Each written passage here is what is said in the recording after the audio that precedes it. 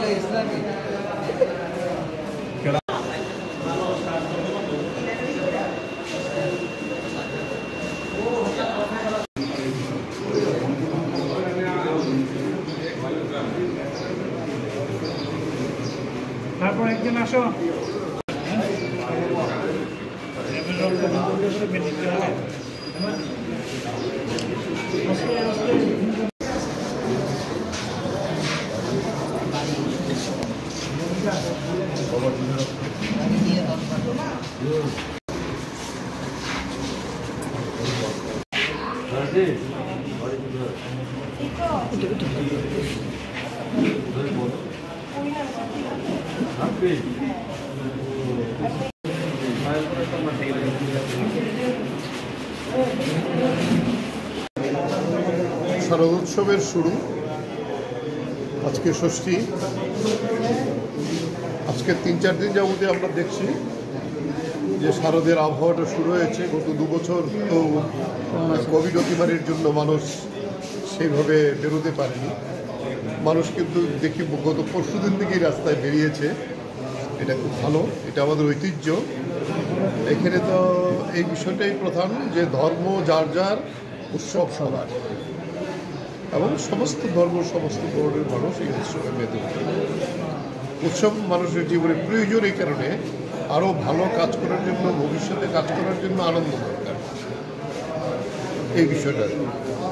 এই সময়টা মানুষ মুমূর্ষ যারা হবে, তাদের তো রক্তের প্রয়োজন হতে পারে। বিভিন্ন দুর্ঘটনা বিভিন্নভাবে ঘটছে।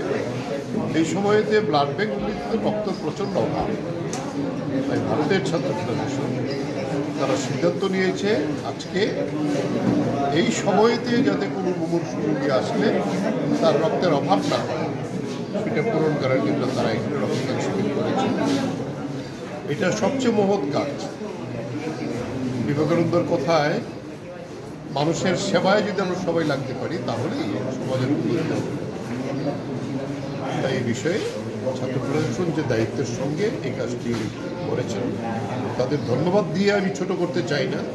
তারা এইভাবেই সমাজের মানুষের সেবায় নিজেদেরকে নিয়োজিত করবেন।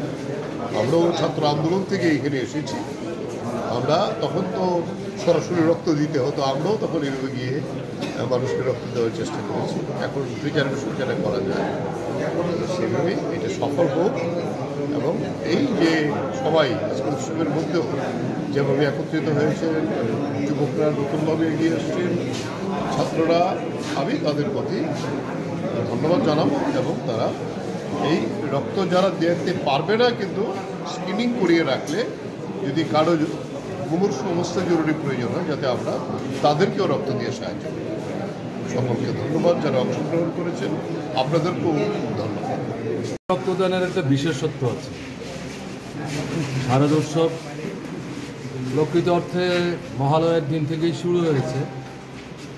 চলবে এক মাস ব্যাপী। এটা তো একটা ঐতিহ্যে পরিণত হয়েছে। তো আমরা যেটা লক্ষ্য করছি গত সাত আট বছর যাবতীয় এই ষষ্ঠী থেকে আরম্ভ করে পুজো প্রথম দুই তিন দিন বিভিন্ন পূজা মণ্ডপে এবং ক্লাব এবং সংগঠন তারা উৎসবটা উদযাপনটা শুরু করে স্বেচ্ছায় রক্তদানের মতো দারুণ রকম কাজে সেদিক থেকে এসএফআই যে তোমাদেরকে বিভাগে বলব সদর বিভাগে। তারা উদ্যোগ নিয়েছে, আজকে এই রক্তদান শিবির আয়োজন জন্য আমি এর জন্য তাদেরকে বিশেষভাবে ধন্যবাদ জানাচ্ছি এবং যারা রক্ত দিতে এসছে, তাদের সুস্বাস্থ্য কামনা করছি। তারা যাতে বারবার রক্ত দিতে আসে, আমি দেখলাম এখানে দশ, বারো, তেরো, আঠাশ, উনত্রিশ বার রক্ত দেওয়া তাদের মানে হয়ে গেছে। তারাও আবার নতুন করে রক্ত দিতে এটা অত্যন্ত আনন্দের। আমরা আশা করব এই ধারা তারা অব্যাহত রাখবেন। সেদিক থেকে আমাদের এই যে উৎসবটা উৎসবটা তো একদিকে পূজা পার্বণ ঠিক আছে আরেকদিকে হচ্ছে সম্প্রীতি, সংহতি। এমন না? একটা সদ্ভাবনা, যেটা নষ্ট করে দেওয়ার একটা ধারাবাহিক প্রচেষ্টা চলছে আমাদের দেশে এবং ত্রিপুরাতে চলছে।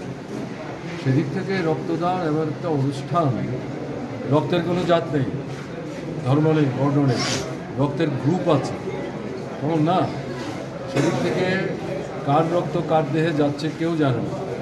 যিনি দিচ্ছেন তিনিও জানেন না, যিনি দিচ্ছেন তিনিও জানেন এর মধ্য দিয়ে মানবিক বন্ধনটা তৈরি হয়, সেদিক থেকে এই অনুষ্ঠানের একটা আলাদা ঐতিহ্য আছে।